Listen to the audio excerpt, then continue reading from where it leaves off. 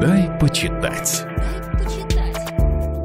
Здравствуйте, я Ксения Станиславовна Лицарева, профессор Вятского государственного университета. Представьте, дорогие слушатели, что должны были пережить ученики шестого класса, когда во время экскурсии по музею антропологии исчезает их любимый классный руководитель Антонина Ивановна.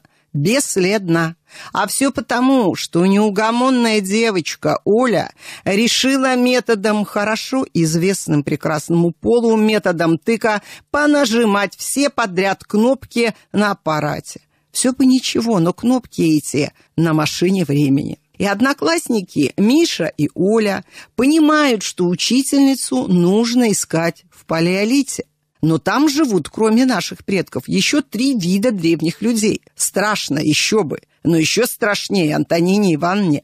Авторами познавательной и забавной книги «Дело о пропавшей учительнице» или «Параллельное человечество палеолита» являются Станислав Дробышевский, физический антрополог и популяризатор научного мировоззрения, кандидат биологических наук, доцент биологического факультета МГУ, автор многих книг, среди которых самая известная «Байки из грота», «50 историй из жизни древних людей» и Маша Рупасова, поэт и автор художественных книг для детей, некогда работавшая учителем русского языка и литературы. Кстати, «Происхождение человека» – первая ее работа, совместная с Дробышевским, в жанре нон-фикшн для детей. Они доказали, что их дуэт оправдан. Легкость повествования и точность фактов плюс научная составляющая – итог совместной работы. Новая книга с забавными рисунками и путешествием во времени, удивительным умением авторов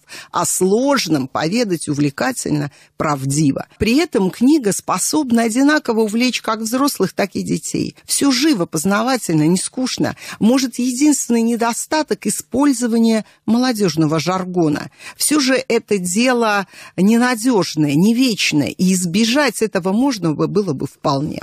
В целом прекрасный образец детского научпопа, в данном случае по антропологии. Да, и в последней 30 главе Антонина Ивановна безо всяких узоров на лице займется своим профессиональным делом. 6+. Эту и многие другие книги вы сможете найти в магазинах «Читай город» по адресам Преображенская, 65, Ленина, 103А, Луганская, 53 и Волкова, 6А. До новых встреч! Дай почитать.